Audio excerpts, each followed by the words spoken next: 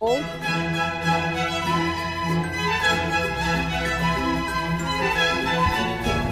me turn the heat up for you, Elmer.